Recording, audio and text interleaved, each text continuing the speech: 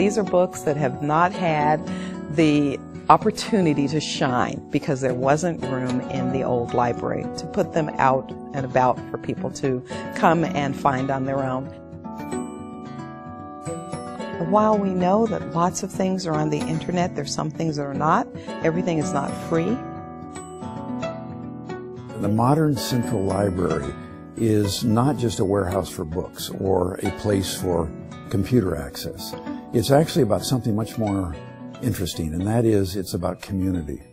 There is no other resource or facility uh, that the city provides that is common ground for all San Diegans. I mean, no matter what your income level or your ethnic background or your interests or your age, this is accessible to you. This is a resource that, that is for you. Places where people can contemplate, they can sit, they can relax and think. And imagine how powerful that is for a person to be able to sit and think.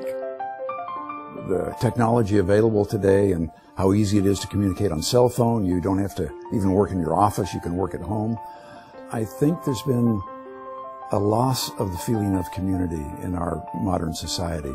The library is the one institution that puts that back. Big L and little L.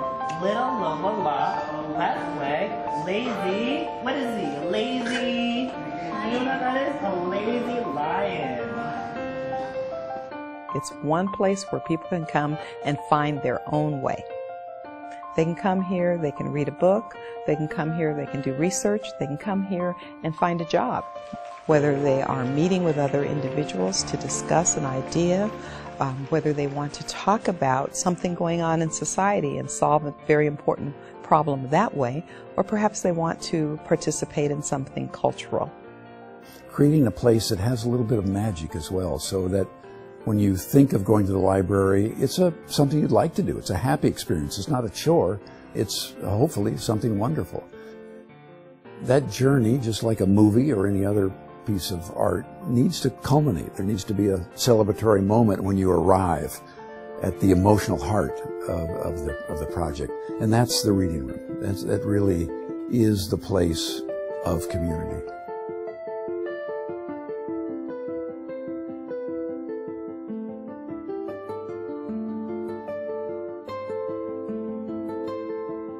Geometrically, the reading room is a perfect cube, 64 feet on a side.